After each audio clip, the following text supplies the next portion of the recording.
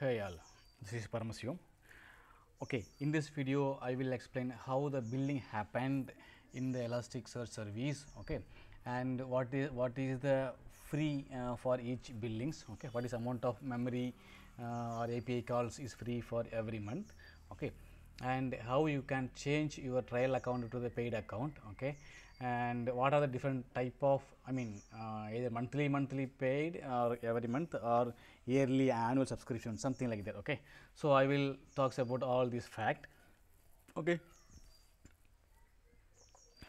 Okay the the meter is for the building is per hour okay? So um, per hour how much uh, memory has been used okay? That is that is how buildings happened if it is one, one and a half hours it will be rounded to the 2 hours. Okay that's go mm, okay. Uh, if it is 5 hours so it, it, it will be charged for 5 hours. Okay that's how uh, that's how buildings are, applied okay. So uh, how much gb has been used per hour? That is uh, that is the meter scale okay. Um, then the uh, uh, this the GB calculated is right it is not only stored the data transfer between the node as well okay? So obviously we would think we would think like uh, the data storage is the uh, size something like that okay? That that is uh, that is only actually built but not only that uh, the apart from the storage okay the all the uh, data transfer between the node between the elasticsearch node or between the elasticsearch and the kibana okay? All the things are calculated okay? Uh, now for every month they will give 100 GB free. Uh, beyond the 100 GB is billed. Okay let's say if you if you use uh, 500 GB so only the uh, we have to pay only for 400 GB not for uh, 100 GB is free for every month. Okay for it it, it, it, it can be any subscriptions. Okay uh, it does not matter is gold or platinum something like that. Okay whenever you change the subscriptions uh, no it, that will not impact here. Okay.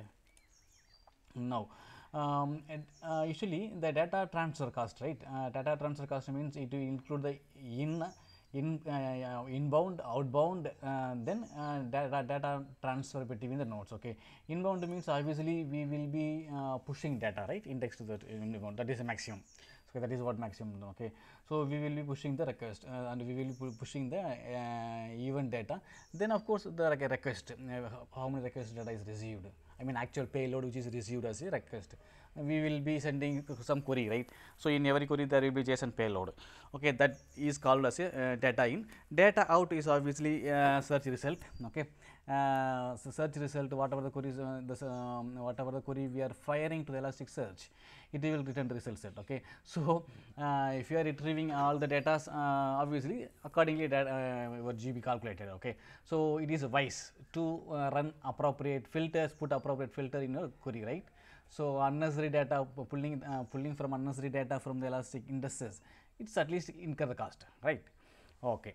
And then similarly monitoring data usually uh, uh, the monitoring data means what is na uh, the Elasticsearch itself uh, the protection cluster right deployment right?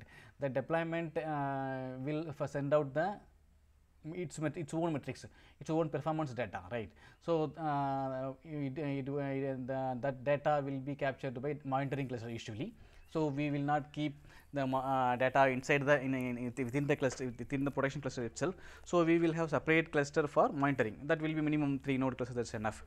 Okay. So production cluster may have many uh, but uh, in the in the monitoring cluster we will have so, um, minimum 3 nodes cluster that's more enough.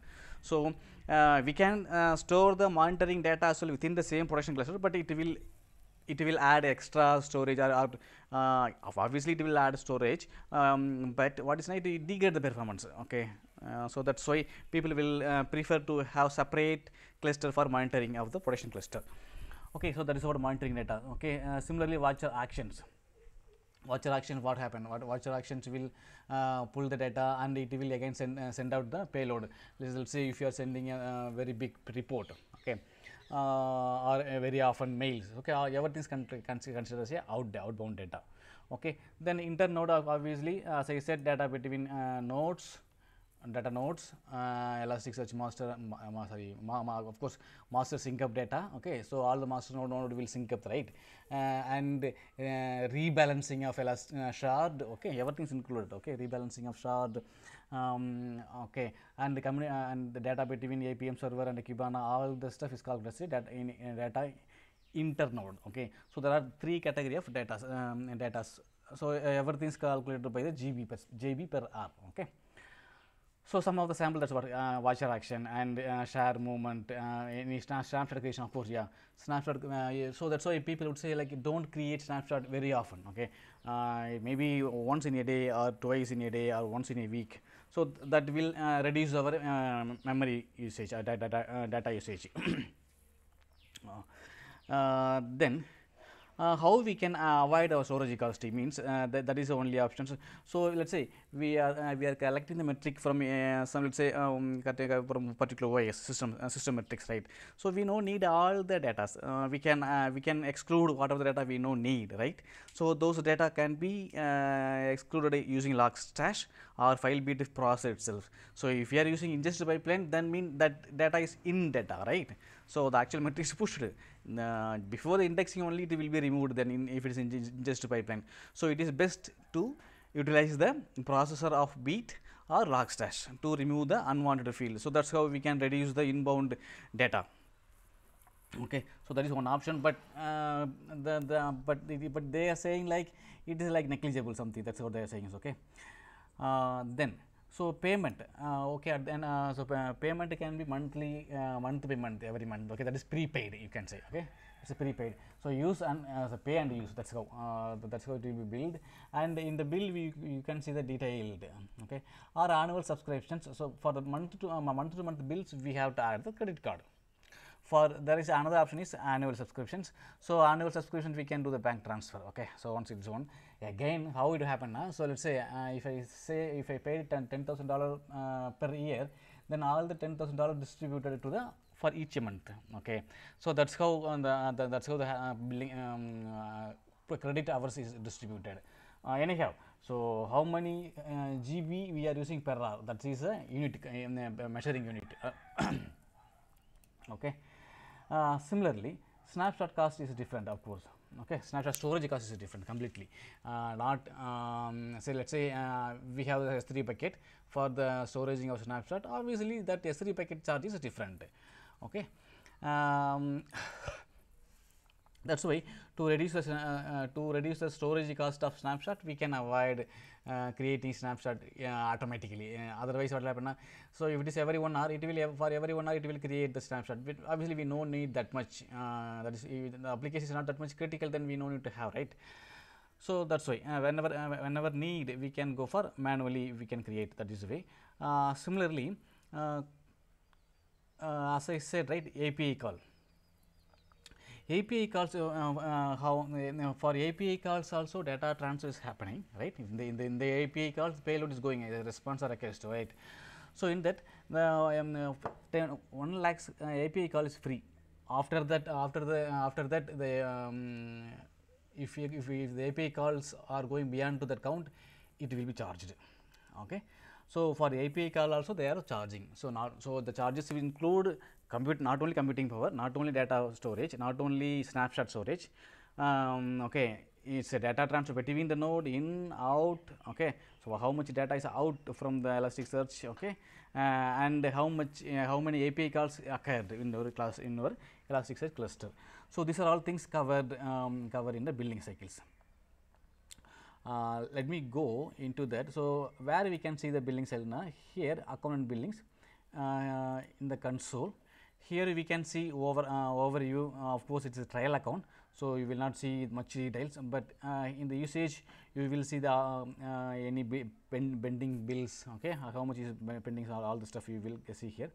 Say this is my one deployment and this this is what happening here you can see right data store uh, trans and storage cost one dollar okay capacity 36 dollars is there but sorry um, then of course billing history. Here you will see the, all the invoice numbers. Uh, but uh, in, in, fact this is this invoice number is not available for annual subscriptions okay? It will not be there available annual subscriptions. It available only for the only for the monthly uh, monthly month to month billings okay? Then contacts. Here you can see this is the one email id we have to configure the billing. So this guy will receive only the billing details okay?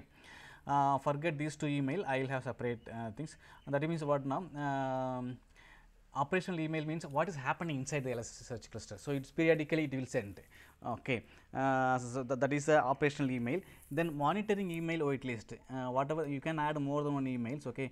In the, the, this mails any problems occurred in any down any node have went down or storage is not accessible or something like that okay or index is collapsed.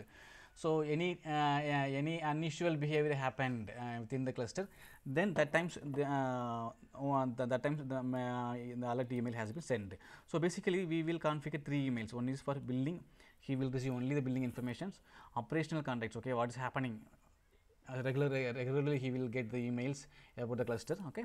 And of course monitoring clusters so any problems occur within the clusters okay? These are the these are the three different email configuration right? Email which we will configure in the um, elasticsearch console. Then one more email id primary contact okay? So primary contact email is different right? So that is for logging okay? So um, uh, using my email id only i will i will log into the cluster right? So that is what primary email id so there are four email id will be used in particular deployment or sorry particular uh, elasticsearch account okay? So particular uh, account not not deployment specific right? So um, uh, it, that, is, that is not deployment specific uh, it is specific to the account. Okay thank you. Thanks for watching. So this is what i want to discuss about how the billings happened what are the data what are the api calls are incurred for the billings okay? Uh, uh, please uh, like it if you like the content okay? And uh, subscribe my channels um, and leave your comment. If you have any questions please let me know. I, as much as possible i will try to answer it. Thank you